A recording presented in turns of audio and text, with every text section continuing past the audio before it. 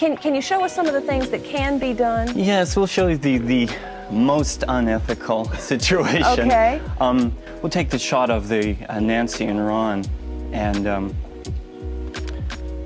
I'm going to place myself into this photograph, and using this type of technology, you can easily get things to pop right in. And in this case, you're going to become the third member of the party. Yes. So let's just paste in. While you do this, this is something that you're doing for fun, and you can continue um, punching your buttons that you need to do um, while we watch the, the photo come up. One thing to do it for fun, another thing to change the photo itself, and there you are. And then I can pop yourself right in. This is one of the earliest demos of Photoshop, before it became the juggernaut it is today. In the 20 plus years since then, Photoshop managed to change the landscape of design, photography, and visual effects. Its popularity has grown so big that the software's name is now being used as a verb, similar to how Googling something is the equivalent of searching on the internet. Much to Adobe's uh, chagrin since they're facing the real possibility of losing Photoshop's trademark, but that's a whole other story. Photoshop nowadays is being used for pretty much everything, from book covers to VFX and astronomy. So, let's dive into the world of Photoshop and what made it the giant it is today.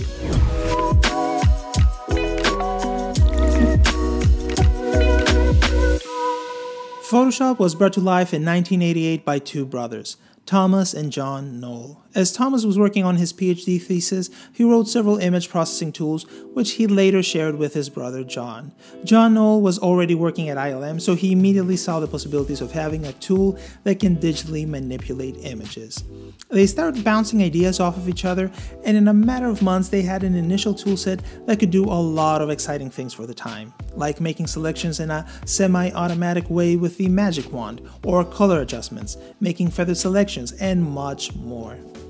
Back then, these types of adjustments were only possible with really expensive equipment. Uh, there were systems that did many of these same things, but they were very expensive dedicated hardware. There's Scitex and, and Scitex and Crosfield systems that you could go to a, a graphics pre-press house and you could rent time on them. And I remember the uh, system. Uh, I got a quote once that it was that it was uh, $900 an hour to use, and you had to have an operator running it for you. So you sat over his shoulder and told him what you wanted to do. So the big revolution here is that, that you had all the same power that you had in a Scitex system, but this is something that can be run by yourself on commodity hardware. Even though version 1 wasn't nearly as powerful or as feature rich as uh, what Photoshop is today, the basics were already there. And just by looking at that first version, we can already tell that this is Photoshop. The toolbar on the left and the icons are the dead giveaways, and apart from a few cosmetic changes, they still look the same today. Even the color dialog looks the same. Since John Knoll was working at ILM, Photoshop was immediately thrown into the deep end. It got used in all parts of the visual effects pipeline, from concept paintings and compositing to matte paintings, set extensions, texture creation, and just plain old fixes for CG renders. Which is mainly one of the reasons Photoshop was so robust even in the very early days. It was used in one of the most demanding industries and by highly skilled people who have no time to waste and are expected to produce great results day in and day out. The first film to use Photoshop was James Cameron's Abyss. Photoshop had a more behind the scenes role there as it was responsible for the background plates the water creature was composited on. ILM wasn't fully committed yet in using digital tools, so this first experiment was a great showcase of what can be achieved. A year later, it was used in Die Hard 2, in the now legendary airport end credits scene. The 35 second effect, which combined live action elements with a matte painting, worried everyone involved in the effect. It was one continuous shot that slowly zoomed out to reveal an airport runway full of airplanes, vehicles, and people. 35 seconds was enough time for the audience to figure out that what they were watching might be an effect. Back then, they preferred shorter effect shots closer to 3 or 5 seconds, short enough for people to not realize what's going on. This scene ended up being a VFX shot because shooting the scene for real was not only going to be expensive but also impractical. A runway and multiple planes would have to be rented, and to add to the complexity of the shot, this scene required snow and several vehicles and people walking around. And even if the budget allowed that, lighting this huge set at night would just be impossible. That's why it was decided to go with VFX, and more specifically, a combination of a matte painting with live action elements spread out throughout the painting. Photoshop was responsible for blending all these elements together and making the necessary color corrections. This scene really pushed the hardware of the time. It was one of the most memory intensive projects. It required 14 to 15 Mac hard drives, each storing 600 megabytes of data. That's just 9 gigabytes in total, which, of course, in today's standards is a negligible amount. But back then it was a nightmare to handle, which goes to show how much we've progressed in these 30 years. Then came Terminator 2, the blockbuster that used every single effect in the book, from miniatures to full 3D animated characters. It was these 3D elements in particular Photoshop was used on. Instead of having to wait for days for re-renders to complete, the ILM artists realized they could just correct the effect shot by just painting out the flaws in Photoshop. As Dennis Muren recalls, if we could get a shot 90% right, our artists could take the shot, go into Macintoshes, and use Photoshop to paint out the flaws. In one shot, the T1000 runs out of an elevator and into a parking garage. Due to the extreme positions, the model's shoulders kept separating from the body. The tears lasted only a few frames, but they were visible enough to ruin the shot. The artist managed to fix that easily by painting out the gaps in Photoshop, so the shot was finished without having to re-render or having to write specialty software to circumvent the issue. As Muren says, I use this on 30% of our CG shots as our secret weapon to getting finals. Photoshop was used on plenty more ILM VFX shots. For example, on the Young Indiana Jones, Photoshop was used heavily for set extensions. An art gallery is transformed into a huge museum by adding a long hallway and more paintings on the wall. In another episode, a relatively ordinary shot of a train crossing through the frame is being transformed into a big budget Hollywood shot just by adding a lavish matte painting. This bigger production value can be seen once more in another set extension. This time, a building in Prague is made to look like the Spanish Riding School in Vienna, which was the original intended location. Photoshop was also heavily used in the concepting phase. For example, in Death Becomes Her, instead of relying on sketches that are always open to interpretation, ILM concept artists used Photoshop to nail down the look of the effect. But VFX is not the only thing Photoshop is used for. Almost immediately after its release, Photoshop took the pre-press and graphic design world by storm. Nowadays, it's the industry standard in graphic design, and even competing programs have to support the PSD format. Throughout the years, the team behind Photoshop kept adding feature after feature, so nowadays it's quite difficult to find something that the program cannot do. Even though some users are disappointed with uh, Adobe's decision to go the subscription route, competitors are still not as feature rich as Photoshop. Affinity Photo, for example, has a good feature set, but it cannot compete with more than 30 years of development. One would argue that as long as the basics are there, you don't need much more, but even if you will use a certain feature only a handful of times, it's good to know that the application you use day in and day out has you covered.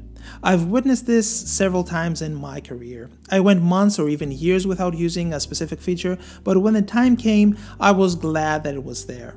So for me at least, Photoshop and also Illustrator will always be part of my toolset.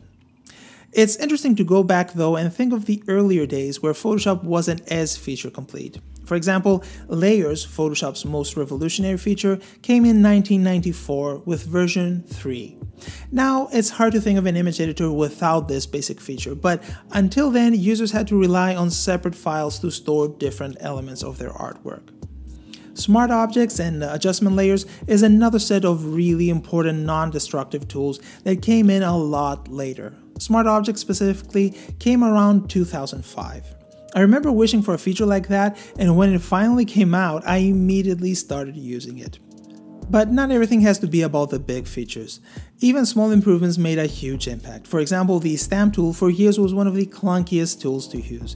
It didn't have any preview, so when you were cloning something, you were kinda guessing where a specific part of the image will fall. I don't remember exactly when that feature was introduced, but I guess it was around 2007. What I do remember though was that it came relatively late in Photoshop's development. I could go on and on about these uh, small improvements, but you get the point. When you live through these changes, you don't realize the impact they have in your day to day work. It's only when you go back and use an older version that it hits you.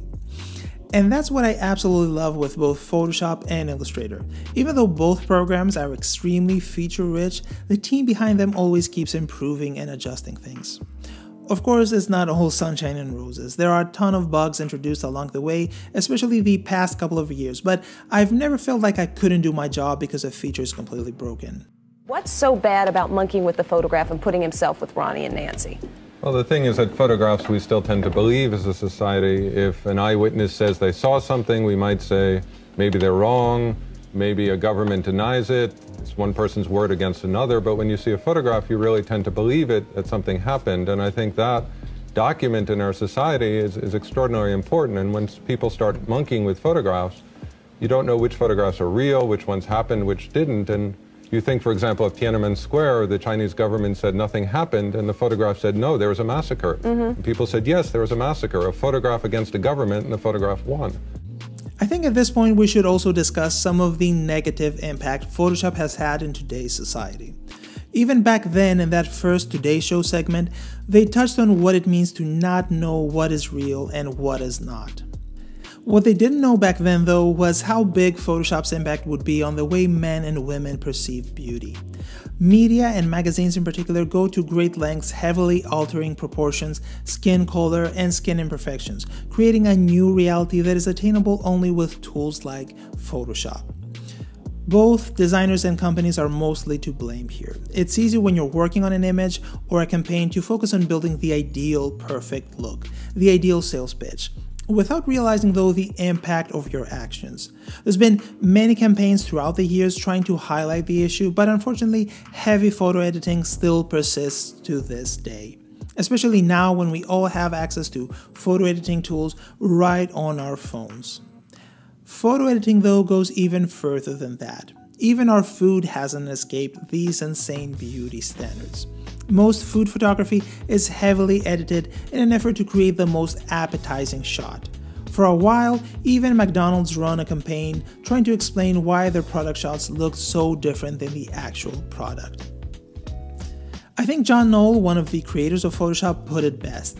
In the end, it's up to us to apply ethics, not the tool. No tool has ethics built into exactly. it. Exactly. A, hammer doesn't have ethics built into it. It's, and you can use a hammer to, to do something wonderful. You can use a hammer to do something really bad. And uh, Photoshop is, uh, is like any other tool in that respect. That, uh, that uh, and I, would like to, to, focus on all the, the, really amazing and beautiful things that people do sure. with it. But uh, certainly there's a, there's a dark side. There are people that, that use it for uh, uh, I think, uh, damaging and unethical things. And I think it's, it's, you know, it's contingent on the artist to apply the ethics. Despite all these things, Photoshop is an amazing tool that completely transformed the graphics landscape. And I'm sure the Knoll brothers feel incredibly rewarded when they see all sorts of beautiful pieces of art made with their creation. I certainly would be. And with that, we've reached the end of this video. I would be interested to hear your thoughts about Photoshop and what was the first version you've ever used. Let me know in the comments below. Take care, and I'll see you on the next one.